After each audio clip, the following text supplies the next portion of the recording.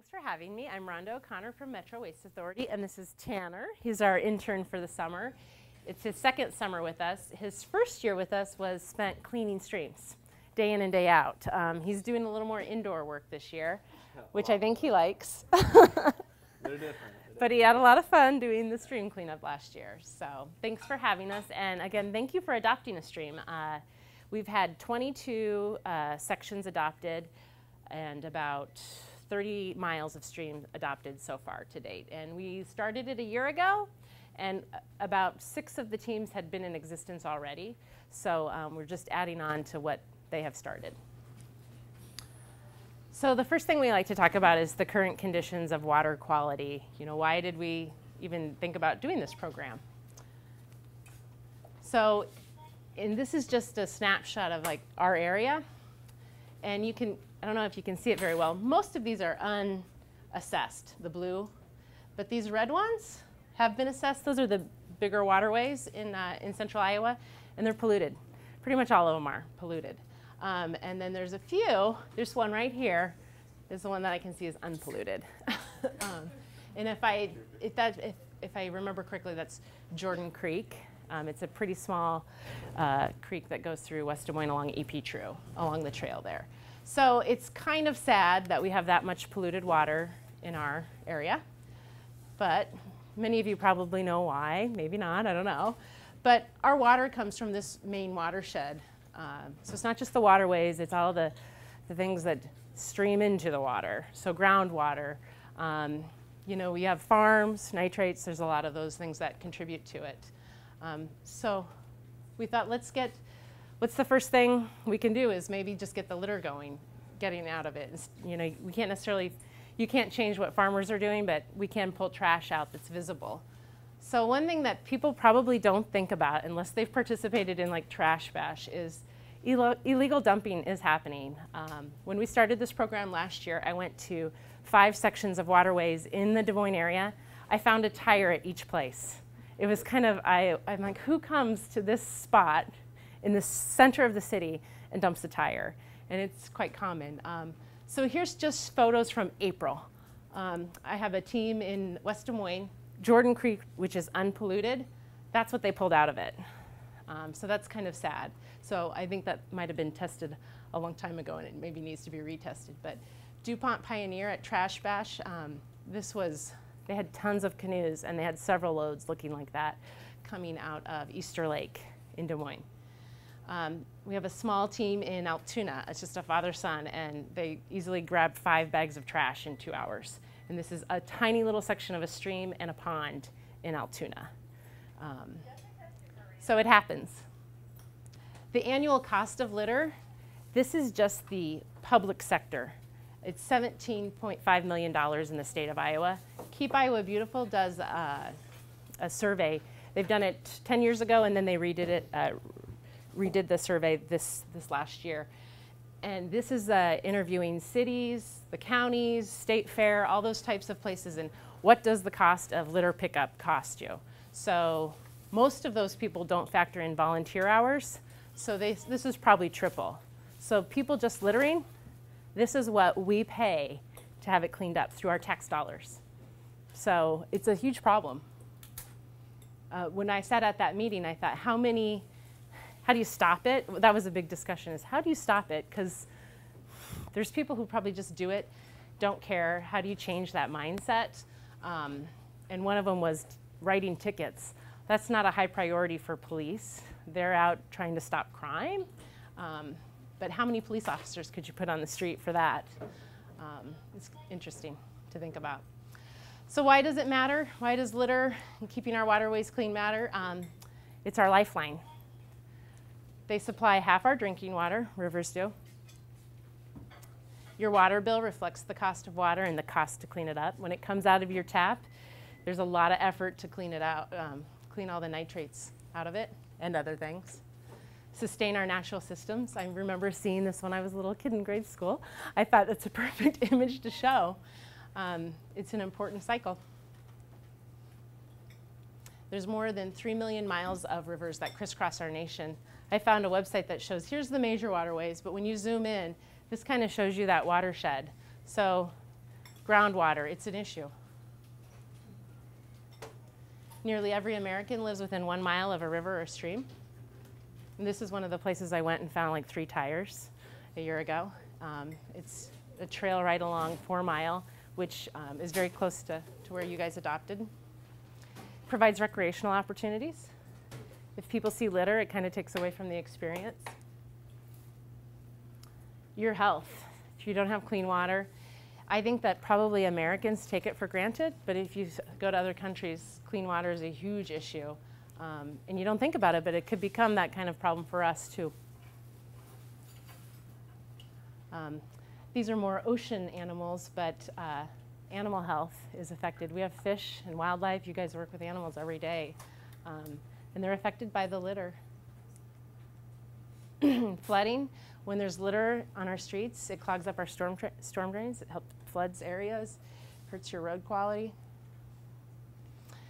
Your economy, it threatens tourism and recreation. You know, I don't know if anyone saw on the news um, the Riverwalk, the fisher, the, the anglers were dumping their fish guts and there's just general litter.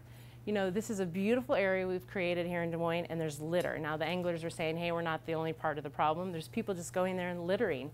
And they had trash barrels and recycling barrels.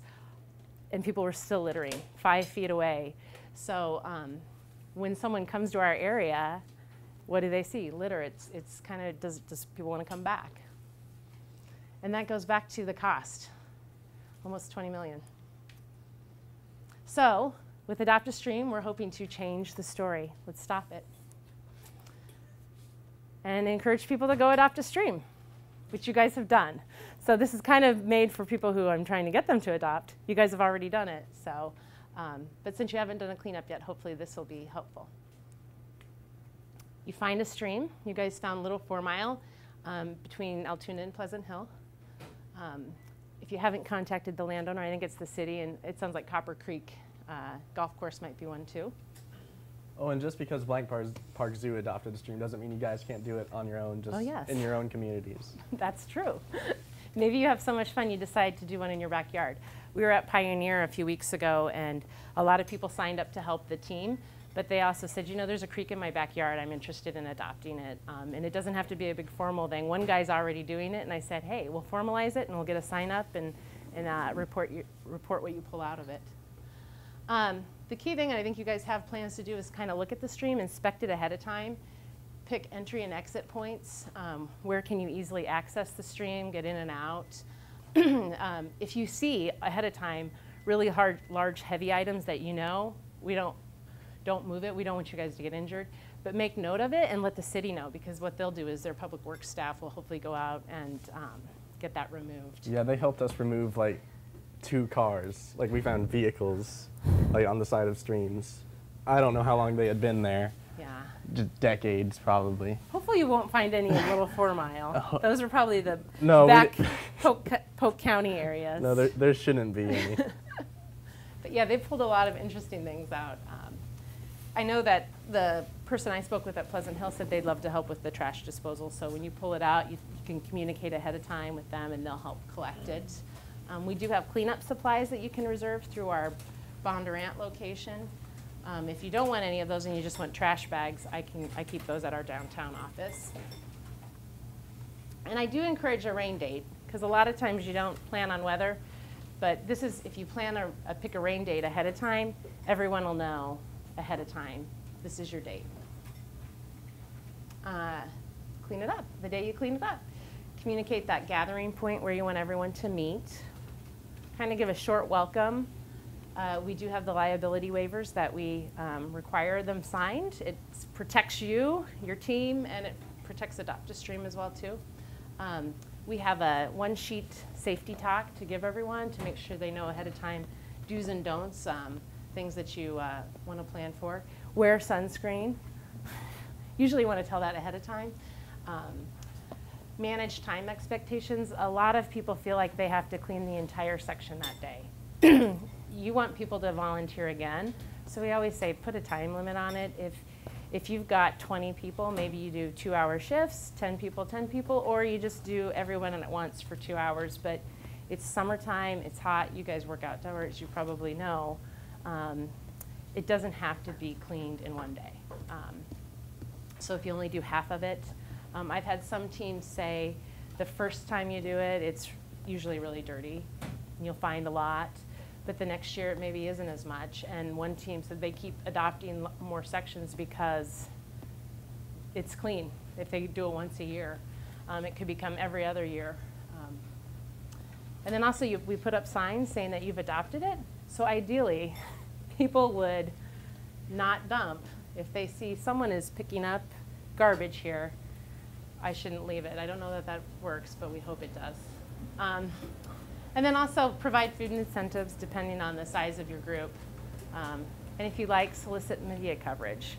Uh, I think it's a great way to say Blank Park Zoo is out in the community um, promoting clean water. And then after your event, we love to know how much you've collected. We have an online form, and then we actually report these results to the DNR every year. Um, it's it's an environmental objective we have, and our goal is to increase how many sections are adopted and how much garbage is collected and track that. And down the road, if you really, really care, we can um, provide to do water testing. It's an eight-hour training, but teams that want to do that, we can connect you with those kinds of resources so you can test your water quality every year um, and see are we making a difference. uh, and then also, I encourage people to take pictures.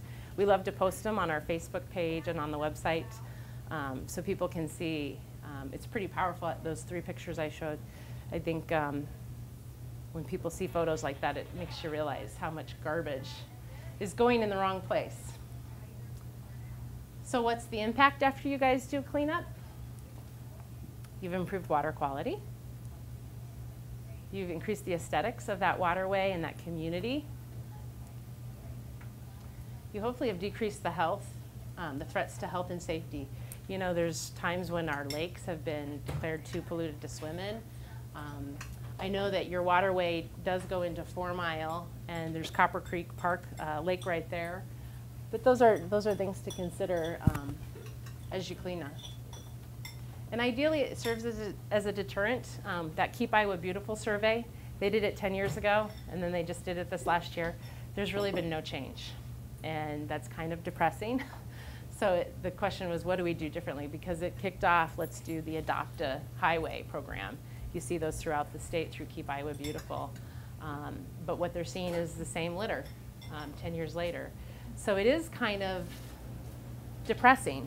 So I'm hoping that people who go in and do it, you speak about it, share with others. Hey, I, we pulled 10 bags of litter out of this waterway. Maybe it'll affect the people who are doing the littering, and uh, they'll think twice. Property values increase. Litter and garbage does decrease property values, so if you have a pretty looking community, it can help your property value if you are a homeowner. Um, in our mind, uh, more partnerships is always a good thing. We have Blank Park Zoo partnering with us, and we're partnering with the cities to make it better, and that's always good.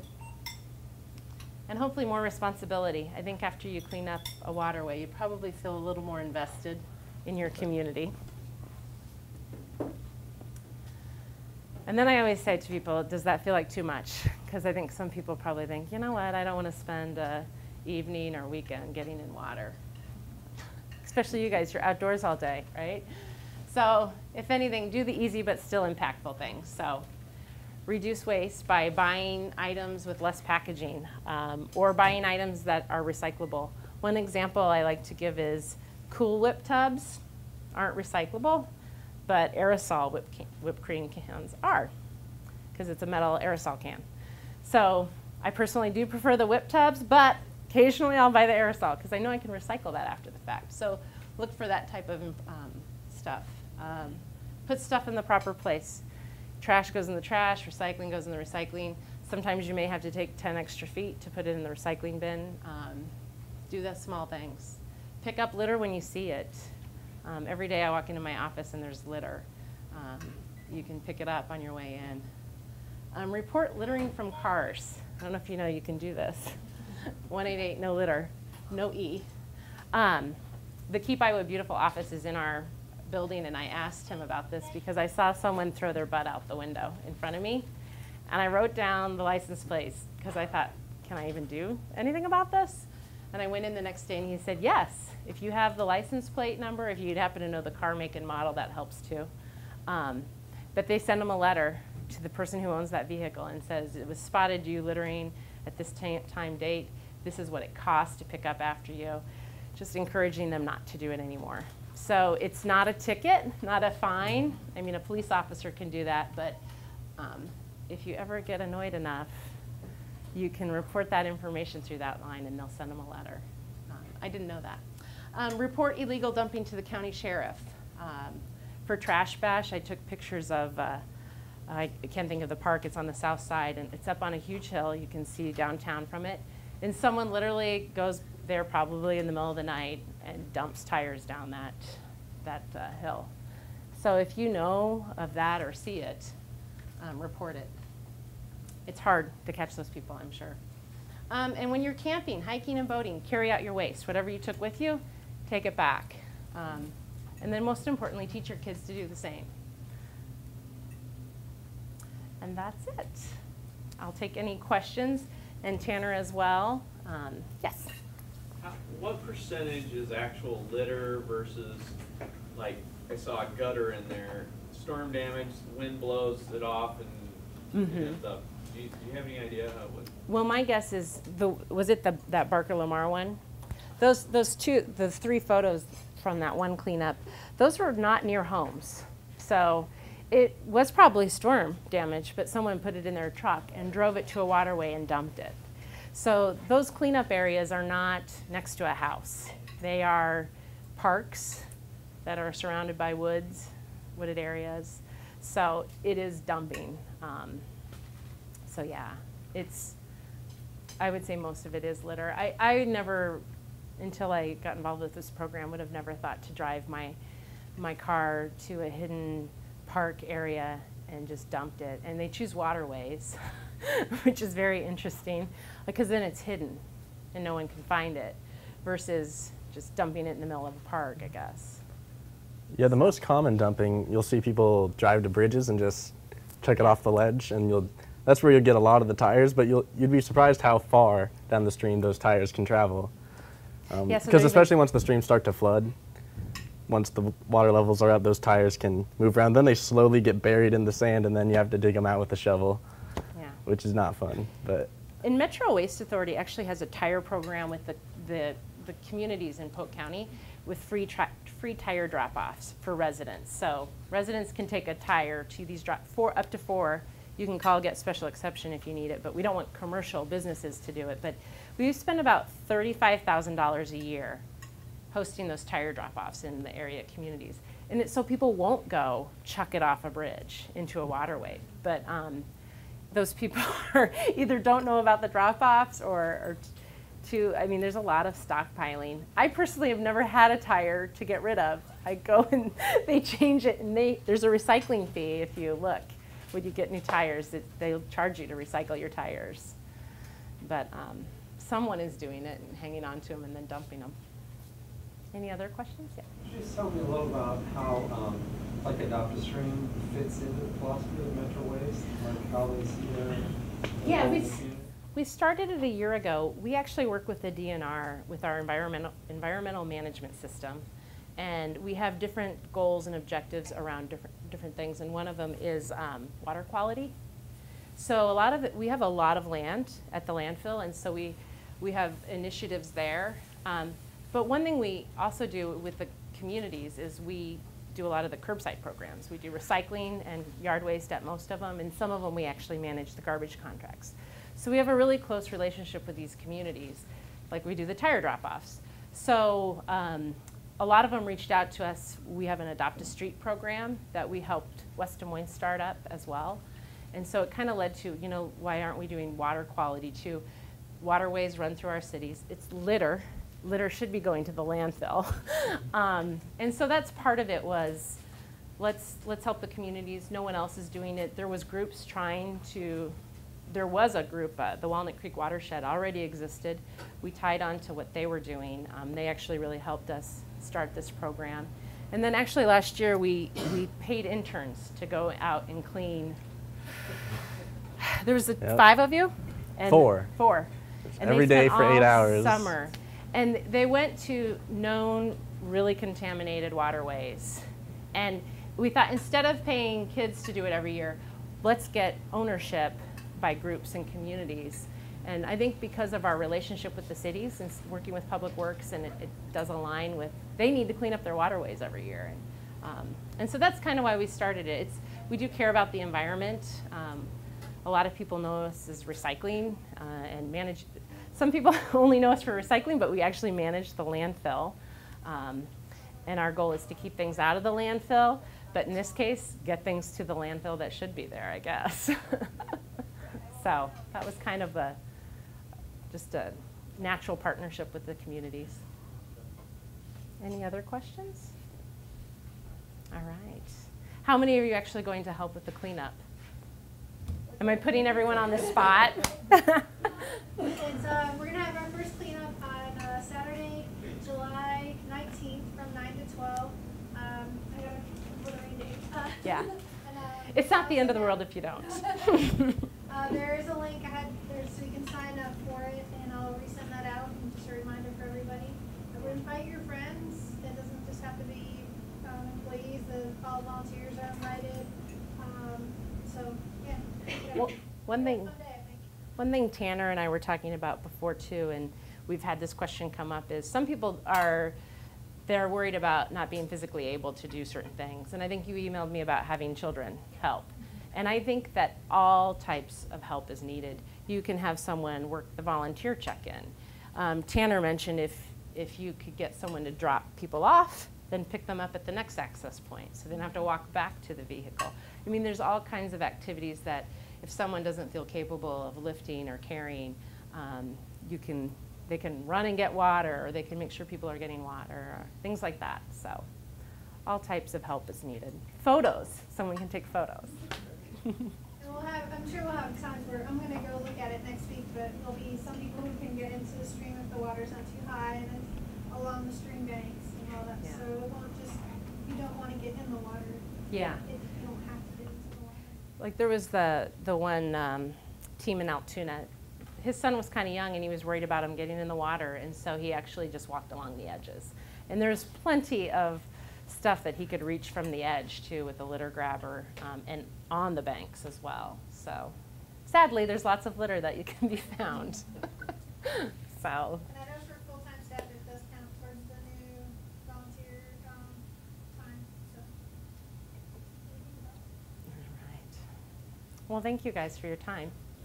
And if you ever need another lunch topic, oh, sorry. You guys have the number that, like, if you see people littering, that you could call? Yeah, the 188 no litter. What happens if it's a garbage truck? you know what? I'm just saying, because I, I have to pick up garbage, and a lot of the garbage that I have to pick up around the dumpster comes from The garbage. garbage truck. Yeah. So is this the commercial dumpster or are you saying the carts along the Um, residential? commercial. Yeah. Well, I know that like with residential rules, which we oversee some of that, we always tell people your cart, there's a lot of people that jam that cart full and the cart, the lid's not shut. And so that's why litter happens because the wind, it'll blow it around. And when that cart gets dumped, if it's jam packed, that sometimes, if that lid's not shut in the process of picking it up to dump it in, it can blow away. So the hauler might come back and say, well, if that business would not fill that dumpster too full, it wouldn't blow around. I know, I agree with you. Um, and also, there are tarp rules. Like, trucks aren't supposed to be driving down the roads without being secured. And I have driven behind garbage and recycling trucks, and I've seen stuff blow out. And we actually had a meeting today about plastic bags. And one idea from someone at the landfill was let's have a campaign to tie a knot in your plastic bags. If you can't recycle them, then and you're not reusing them, to, like I put garbage in mine, but um, to tie a knot in them, that helps them from blow, not being blow around so much. Plastic bags blow around our landfill like crazy. We have big fences up to stop them from blowing on University, but we have a litter truck that goes around, goes down University, picking up litter that blows out of trucks and vehicles on their way to the landfill. They're supposed to be secured, but it does happen. And if you see it very, like, I would call whoever owns that truck and, or you can call us and tell us, but we need to know, is it a waste management truck? Aspen Waste, Waste Connections, there's a bunch of them out there, but if you can tell us that and the, the um, license plate, we'll get in touch with that garbage hauler and tell them, this truck is doing this. It's probably not the driver purposely, but it just means they need to do something with that truck to make sure the stuff is secure. So, um, you could call the no litter number too, though, they might do it as well, but in that case, I would say you could call us or the truck, the name of the company. We're okay with you calling us though, because we work with a lot of them and sometimes they might listen to us. Not always, but sometimes. Yeah. So, any other questions? And it doesn't have to just be about Adopt a Stream, it can be about garbage and recycling. I was going to tell you if you ever want a recycling rules presentation, we have one of those as well. So if you ever have another lunch and learn. All right. Oh, over here. Oh, Did you guys ever do anything for batteries? Um, we do have, um, if you go to call2recycle.org and type in your zip, you can get the closest battery recycling drop off, but we also accept them at our Metro hazardous waste drop off um, in Bondurant, which isn't always convenient. But if you live close to an internet, Interstate Batteries or a battery plus, they take them. I will tell you, alkaline batteries, the single use ones, you can just toss in the garbage. There's hardly any valuable material to recycle. And it, a lot of them will take it, but then they're shipping it out of state, and most likely it's going in the garbage there. They're sorting it out from the stuff that has value. Yeah. a lot of people are like, I want to recycle it at all costs. And it's like, yeah, sometimes people say they take it just to get the other stuff, and then they sort it out at the end. So, so don't feel bad about throwing it in the garbage. Or buy rechargeable ones. That's what I tell people. Any other questions? Hazardous waste questions? We can answer those too. Right. What's the most hazardous thing to, that we have to worry about that would be in your house? Oh, I don't know if I'm smart enough to answer that question. you know, I will tell you one thing I learned. I started working at Metro Waste three and a half years ago, and I broke a CFL light bulb, and I vacuumed it up. And I started working at Metro Waste Authority, and I went to the EPA website to learn how to clean up. Um, you're not supposed to vacuum them up because they contain mercury. Um, yeah, you're supposed to open up all the windows, sweep it up. There's rules. We actually have a link on our website for light bulbs, how to clean them up. But it depends on the home, right? My condo doesn't have anything hazardous, maybe some bleach. Um, but they do, we do have uh, the hazardous waste drop off and we do drop off events. And the goal is we don't want people storing them in their homes and having kids having access to it. Um, that's one problem is uh, 54% of the poisonings are children um, in the home ha- having access to hazardous waste. So that's why we do those drop-off events, um, is a lot of stored up stuff you don't want kids to have access to. I'm not sure that I can answer that question. we could go to your house and find out what you have maybe. It's the knife in the kitchen drawer. they say a lot of people are, oh, you know, uh, they overdo Tylenol and aspirin. They take too much. They say that people can hurt themselves from that too. So, any other questions? Anyone need to know where to recycle something weird? If not, if you don't know, um, in the future you can go to our website whereitshouldgo.com and we have a recycling guide with lots of options for things if you ever want to find out more, like batteries. All right. Thanks for having us. We appreciate it.